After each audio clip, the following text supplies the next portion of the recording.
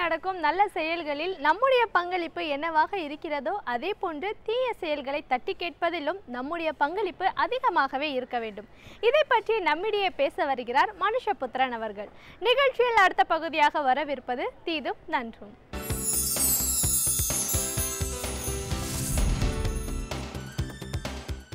வணக்கம் நண்பர்களே. இன்னும் ஒரு இனிய காலை பொழுதில் தீதும் நன்றும் நிகழ்ச்சியில் உங்களை சந்திப்பதில் மிக்க மகிழ்ச்சி அடைகிறேன். நம் நாட்டில் இருக்கக்கூடிய பல சட்டங்கள் சட்ட நடைமுறைகள் என்பது காலத்திற்கு ஒவ்வாததாக மாறி வருகிறது என்பதை ஒவ்வொரு நாளும் வழக்கு வ- வரக்கூடிய பல விசித்திரமான வழக்குகளும் பல முரண்பாடுகளை கொண்ட வழக்குகளும் நிரூபித்து வருகின்றன. இன்றைக்கும் கூட நம்முடைய கிரிமினல் சட்டங்களாகட்டும் அல்லது குடும்ப நலச் சட்டங்களாகட்டும் அவை எல்லாமே பிரிட்டிஷார் இயற்றிய ஆங்கிலேயர்கள் இயற்றிய சட்டங்களை அடியொற்றி இன்றும் பின்பற்றி பின்பற்றப்பட்டு வருகிற ஒரு சட்டங்கள் எனலாம். ஆனால் நூற்றி ஐம்பது ஆண்டுகள் இரநூறு ஆண்டுகளுக்கு முன்பாக எழுதப்பட்ட பல சட்டங்கள் இன்றைக்கு தானாக காலாவதியாகி வருவதற்கு மிக முக்கியமான ஒரு காரணம் என்னவென்று கேட்டால் நம்முடைய சமூக மதிப்பீடுகள் மாறி வருகின்றன சமூக சூழல்கள் மாறி வருகின்றன. இந்த கடந்த நூற்றாண்டுகளில் கடந்த நூற்றாண்டில் ஒரு பல்வேறு விதமான சமூக ரீதியான விஷயங்களும் மனித உறவுகளும் குடும்ப வாழ்க்கை சார்ந்த ஒரு அமைப்பும் அதனுடைய சிக்கல்களும் பெருமளவுக்கு மாறுதல் அடைந்து விட்டன. கல்வி சுதந்திரம் போன்ற கருத்தாக்கங்கள் வலிமை பெற்றிருக்கின்றன. ஜனநாயக கோட்பாடுகள் வலிமை வலிமை பெற்றிருக்கின்றன. ஆண் பெண் சுதந்திரம் என்பது இன்றைக்கு முக்கியமானதாக கருதப்படுகிறது. குறிப்பாக ஆண் பெண் சமத்துவத்திற்கான குரல் இன்றைக்கு எல்லா இடத்திலும் ஒரு ஒழித்து வருகிறது. குறிப்பாக பெண்களினுடைய உரிமைகள் பெண்களினுடைய பாதுகாப்பு என்பது கூட இன்றைக்கு மிக தலையாய பிரச்சனையாக மாறிவிட்டது. இப்படி புதிதாக உருவாகியிருக்கக்கூடிய இந்த சூழலுக்கு ஏற்ப புதிதாக உருவாகியிருக்கக்கூடிய இந்த ஒரு வாழ்க்கை முறைக்கு ஏற்ப பல சட்டங்களை மாற்ற வேண்டிய நிர்பந்தம் நீதிமன்றங்களுக்கு ஏற்படுகிறது.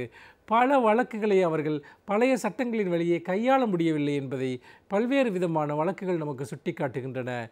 அப்படி ஒரு சுட்டிக்காட்டப்பட்ட ஒரு வழக்குதான் ஒரு குழந்தைக்கு பாதுகாவலராக யார் இருக்க முடியும்? தந்தையா அல்லது தாயா என்கிற ஒரு விஷயம். அதாவது நம் நாட்டில் இப்போது நடைமுறையில் இருக்கக்கூடிய சட்டமானது குழந்தைகள் பாதுகாப்பு மற்றும் சிறார் சட்டம் ஆயிரத்தி எண்ணூற்றி தொண்ணூற்றி ஓராம் ஆண்டு இயற்றப்பட்ட அந்த சட்டம் என்பது குழந்தையினுடைய கார்டியன் அதாவது பாதுகாவலராக தந்தையையும் தந்தைக்கு பிறகு தாயையும் குறிப்பிடுகிறது. அதாவது தந்தை தான் முதன்மையான ஒரு பாதுகாவலர். அவருக்கு பின்புதான் தாயை நாம் அந்த குழந்தையினுடைய அவர் இல்லாத பட்சத்தில் இறந்து விடுகிற பட்சத்தில் தான் அவன் அந்த குழந்தையினுடைய பாதுகாவலராக கார்டியனாக தாயை கருத முடியும் என்று அந்த சட்டம் கூறுகிறது. அதாவது இந்த சட்டம் இயற்றப்பட்ட காலத்தில் பெண்களுக்கு கல்வி கற்பதற்கான சுதந்திரம் இல்லை வேலை செய்வதற்கான சுதந்திரம் இல்லை. பெரும்பாலும் குழந்தைகளை பெற்று வளர்ப்பதுதான் பெண்களினுடைய ஒரு பிரதான கடமையாக வைக்கப்பட்டிருந்தது. ஆனால் க கடந்த ஒரு ஐம்பது அறுபது வருடங்களில் எவ்வளவோ விதமான மாற்றங்கள் சமூகத்தில் நடந்துவிட்டன. பெண்கள் ஆண்களுக்கு இணையாகவும் ஆண்களை தாண்டியும் பொருளீட்டுகிறவர்களாகவும் சமூக சுதந்திரம் கொண்டவர்களாகவும் பண்பாட்டு சுதந்திரம் கொண்டவர்களாகவும் இருக்கிறார்கள். இது ஒரு புறம். இன்னொரு புறம் நீங்கள் பார்த்தீர்கள் என்றால் ஒரு குழந்தை பெற்று வளர்ப்பதில் முதன்மையான பங்கு என்பது ஒரு அன்னையினுடையது தான்.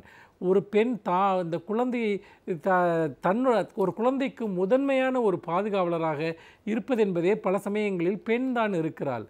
அப்படிப்பட்ட ஒரு சூழ்நிலையில் நாம் இது போன்ற ஒரு பழைய சட்டங்கள் என்பது அபத்தமானது மட்டுமல்ல பல த ஒரு தேவையற்ற ஒரு சிக்கல்களையும் ஏற்படுத்துகின்றன. சமீபத்தில் ஒரு பெண் அப்படி ஒரு வழக்கை நீதிமன்றத்தில் தொடுத்திருந்தார். அதாவது அவர் தன்னுடைய குழந்தையின் மேல் அவருக்கு கணவர் கிடையாது. அதாவது அவருடைய தன்னுடைய குழந்தை திருமணமாகாத பெண் அவர் அவர் ஒருவருடன் இருந்த காதலின் காரணமாக ஒரு குழந்தை பெற்றுக்கொள்கிறார். அந்த அந்த குழந்தையினுடைய தந்தை அதாவது பயாலஜிக்கல் ஃபாதர் என்று சொல்வார்களே அந்த இரத்த வழி தந்தை அவர் க சில மாதங்களிலேயே அந்த பெண்ணை விட்டு பிரிந்து எங்கோ சென்று விடுகிறார். அவர் எங்கே இருக்கிறார் என்பது கூட அந்த பெண்ணிற்கு தெரியாது. அப்படிப்பட்ட ஒரு சூழ்நிலையில் அந்த பெண் தானாக அந்த குழந்தையை படிக்க வைக்கிறார் வளர்க்கிறார். அந்த குழந்தைக்கு தாயும் தந்தையுமாக அந்த பெண்ணே இருக்கிறார். அவர் தன்னுடைய குழந்தையின் பேரில் சில முதலீடுகளை செய்வதற்கு அவர் முயற்சித்த போது தந்தையினுடைய பெயர் கண்டிப்பாக வேண்டும் என்று அந்த நம்முடைய அரசு நடைமுறைகள் இந்த சட்டத்தின் அடிப்படையிலான நடைமுறைகள் அவரை நிர்பந்தித்தன. அவரை அதை எதிர்த்து நீதிமன்றத்திற்கு சென்றபோது இல்லை இல்லை முதன்மையாக முதன்மையான பாதுகாவலராக சட்டப்படி தந்தை தான் இருக்க முடியும். அவர் உயிரோடு இருக்கிற பட்சத்தில் நீங்கள் அவருடைய அனுமதியுடன் தான் இதை செய்ய முடியும் என்று நீதிமன்றம் சொல்லிவிட்டது. கீழ் நீதிமன்றத்திலிருந்து அவர் உயர் நீதிமன்றத்திற்கு சென்றபோதும் நீதிமன்றம் அதே உத்தரவைத்தான் உறுதிப்படுத்தியது. பிறகு அவர் உச்ச நீதிமன்றத்திற்கு சென்றார். உச்ச நீதிமன்றத்திற்கு சென்றபோது உச்சநீதிமன்றம் ஒரு வரலாற்று சிறப்புமிக்க தீர்ப்பை வழங்கியது. அதாவது ஒரு தந்தை இல்லாத பட்சத்தில் அல்லது ஒரு தாய் த- அந்த குழந்தையினுடைய தந்தையை யார் என்று வெளிப்படுத்த விரும்பாத பட்சத்தில் ஒரு ஒரு தாயே அந்த கு- குழந்தைக்கு முழுமையான முதன்மையான ஒரு பாதுகாவலராக கார்டியனாக சட்டப்படியான உரிமை உள்ளவராக இருக்க முடியும் என்கிற ஒரு தீர்ப்பை வழங்கியது. இந்த தீர்ப்பு என்பது இன்றைக்கு நாடு முழுக்க பரவலாக வரவேற்கப்பட்ட ஒரு தீர்ப்பாக இருந்தது. இதிலே முக்கியமாக நாம் கவனிக்க வேண்டிய விஷயம் என்னவென்றால் இன்றைக்கு குழந்தையை ஆண்கள் இல்லாமல் தனியாக வளர்க்கக்கூடிய தாய்மார்களினுடைய எண்ணிக்கை என்பது இந்தியாவில் அதிகரித்து வருகிறது. அது இரண்டு விதமான விதத்தில் அந்த அத்தகைய ஒரு சிங்கிள் மதர் என்று சொல்லக்கூடிய அந்த ஒற்றை தாய்மார்கள் ஒற்றை பெற்றோர் குடும்பங்கள் இருக்கின்றன. குறிப்பாக நம்முடைய நாட்டில் ஏதோ ஒரு சந்தர்ப்ப சூழ்நிலையின் காரணமாக ஒரு குழந்தைக்கு தாயாகி விடுகிற பெண்கள் அந்த நபருடன் சேர்ந்து வாழ முடியாத போது அல்லது அந்த நபரை திருமணம் செய்து கொள்ள முடியாத போது அவருடைய வாழ்நிலை என்பது மிகவும் கேள்விக்குறியாகி விடுகிறது. அதாவது அவர் எல்லா இடங்களிலும் தந்தையினுடைய பெயரை சொல்லும்படி நிர்பந்திக்கப்படுகிறார். இது மிக மிக அநீதியான ஒன்று. ஏனென்று கேட்டால் உண்மையிலேயே ஒரு குழந்தை யாருடன் இருக்கிறதோ அவர்தான் அந்த குழந்தைக்கு பொறுப்பானவர் என்பதுதான் இயற்கையான ஒரு நியதி. அதோடு மட்டுமல்லாமல் இன்னொரு முக்கியமான பிரச்சனை நிறைய விதவை தாய்மார்கள் இருக்கிறார்கள் கணவர்கள் இறந்து விடுகிறவர்கள் அதே போல் விவாகரத்தான தாய்மார்கள் இருக்கிறார்கள்.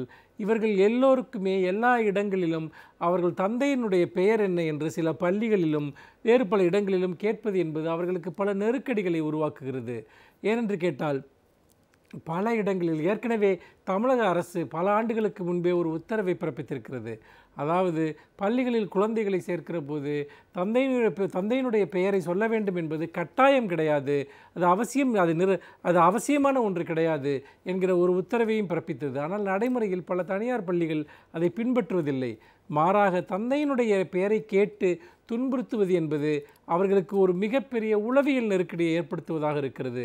உண்மையில் வாழ்க்கையில் இன்று பல்வேறு விதமான உறவு குழப்பங்களும் முரண்பாடுகளும் சிக்கல்களும் நிறைந்த ஒரு சூழ்நிலையில் ஒரு குழந்தை யாரிடம் இருக்கிறதோ அவர்தான் அந்த குழந்தையை பிரதிநிதித்துவப்படுத்துகிறார். அந்த வகையில் நம்முடைய சட்ட அமைப்புகள் மாற்றப்படுவது மட்டுமல்ல சமூக மதிப்பீடுகளும் மாற்றப்பட வேண்டும். தனியாக ஒரு குழந்தையை வளர்க்கக்கூடிய தாய் என்பவள் அந்த குழந்தையை ஏன் அவள் தனியாக வளர்க்கிறாள் என்பதற்கு வெளியே சொல்லக்கூடிய வெளியே சொல்ல முடியாத ஆயிரம் காரணங்கள் இருக்கலாம்.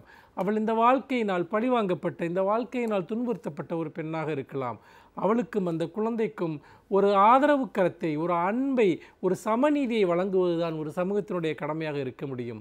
மாறாக தந்தை என்கிற அந்த ஒற்றை சொல்லின் வழியாக ஒரு பெண்ணினுடைய சமூக இடத்தையோ ஒரு குழந்தையினுடைய சமூக இடத்தையோ தே- நிர்ணயிப்பது என்பது மிக மிக தவறான ஒரு விஷயம் என்று சொல்லி உண்மையில் நம்முடைய சமூகம் என்றைக்கும் தாய்வழி சமூகமாகத்தான் இருந்திருக்கிறது. இன்றைக்கும் தாய்மையின் வழியாகத்தான் ஒரு குழந்தையினுடைய எதிர்காலம் நிச்சயிக்கப்பட வேண்டும் என்று சொல்லி மீண்டும் இன்னும் ஒரு புதிய செய்தியோடு உங்களை சந்திக்கிறேன். நன்றி வணக்கம்.